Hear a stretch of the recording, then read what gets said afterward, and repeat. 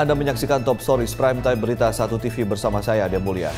Empat truk penambang pasir terjebak aliran lahar hujan Gunung Kelut di Kediri, Jawa Timur. Pemerintah masih mempelajari usulan tim reformasi tata kelola migas terkait penghapusan bahan bakar minyak jenis premium. Pemprov DKI Jakarta membongkar 250 bangunan liar di bantaran Kali Sekretaris Kebon Jeruk, Jakarta Barat.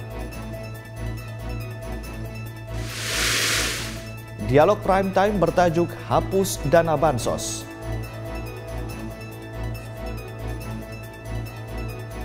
Berita satu dapat disaksikan lewat live streaming di berita1.tv di First Media Channel 6 dan HD Channel 301, Big TV Channel 1 dan 655, HD Channel 654, Telkom Vision Channel 150, Sky Nido Channel 47, Aura TV Channel 71, berita1.com serta youtube.com slash berita1.